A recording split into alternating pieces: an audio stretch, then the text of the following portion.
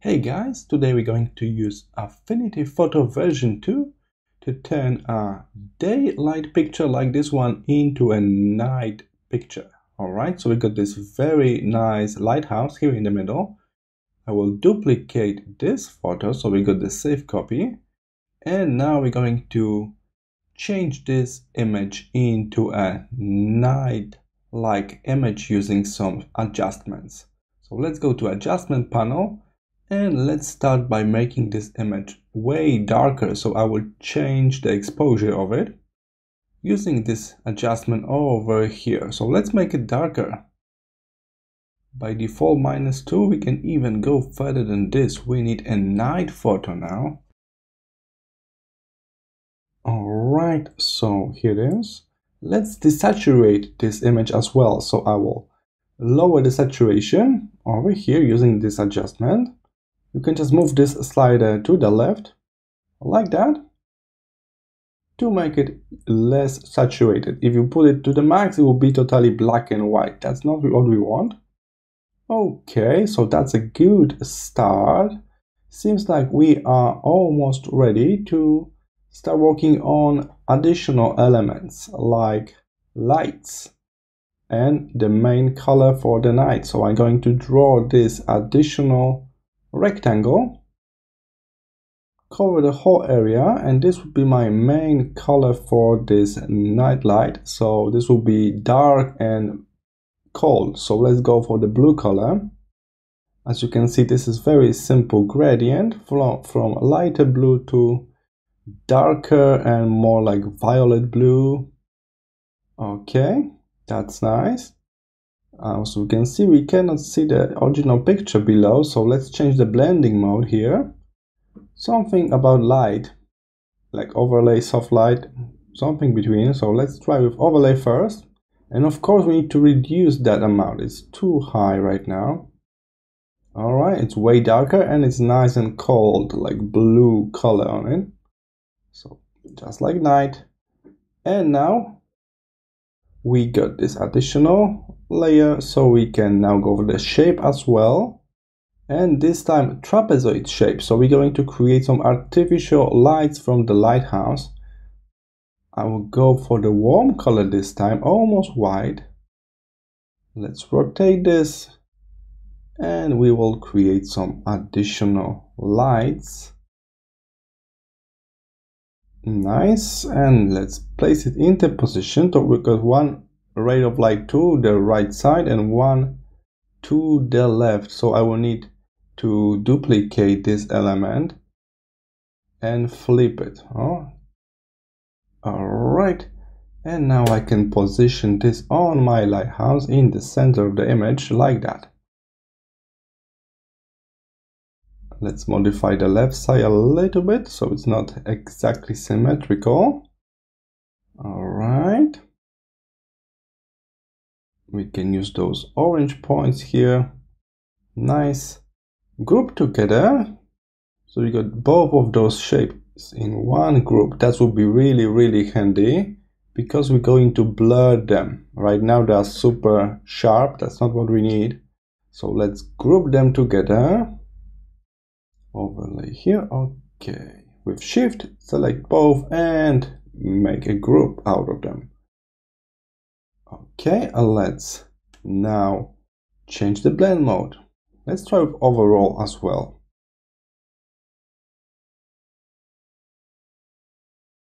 You can experiment when you're sliding your cursor, you got live preview, that's really nice in Affinity Photo. Alright, overlay, and now we can, with the overlay, we can put it at the top first, and then we need to blur this. Let's go very simple blur, so I can use the layer panel so I can use layer style for it here fx blur at the bottom move the slider to the right. Like that very very soft edge. All right let's duplicate this whole group. And for the copy we will put it here below the night light let's make it a little bit smaller and also sharper so this will be way stronger ray of light Nice. You see we're getting there, we're turning this daylight image into night image, so we need to artificially create those lights. Nice. Just like that. This one may be even larger, okay. And now I will need some kind of warm color beaming from this lighthouse to contrast this cold blue like night color. So I think I'm going to use some kind of like orange like color. Not, not like that, sorry, undo. Let's use a brush and put it only on the lighthouse. So I will rasterize this shape. This way I will be able to use the raster brush to simply repaint part of it with this orange color. It's already blending as overlay, so that's perfect. And this is this another benefit of using Affinity Photo versus Photoshop. We got the live preview. Even without clicking with the brush, I got live preview how it will all work on this layer. And it's also taking into account our blending mode. So that's really nice. Okay, a little bit larger one. Just click here to recolor part of that shape. Nice. And now we got this warm dot in the middle of this. And then on the separate layer I'm going to use brush again to paint those beams left and right and changing blending mode to overlay again.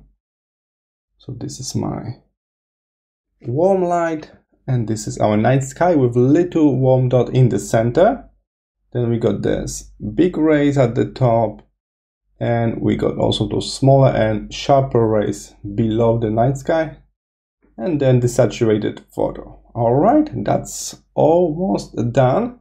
As you can see, this project is really simple. I'm not using any complex tools. We're simply making additional layers with colors and blending them into as fake lights. Alright, you know what? Let's go for a mask here. So this light is a bit softer at the edge of the picture. So by using black color, I can mask out this just at the edge here. So it's a bit softer. All right, much better. And I think it's too symmetrical right now. I think I need more light on the right side, beaming to the sea.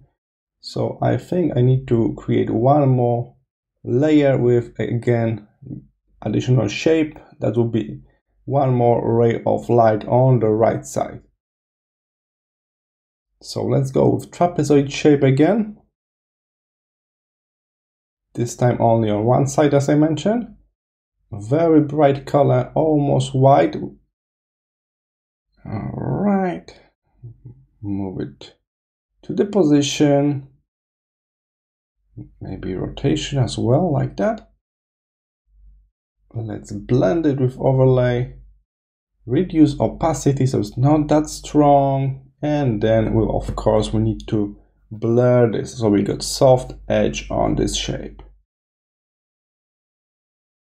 All right you can play with opacity.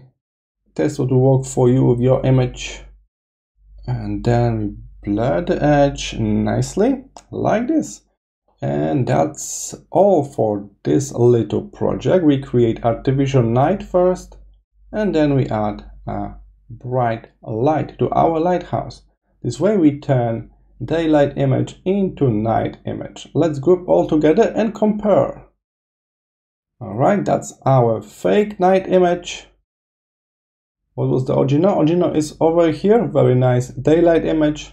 And then our composition from this tutorial. Alright guys, thank you for watching. If you would like to learn more about Affinity Photo, please check other videos and I hope I will see you in the next lesson. Bye!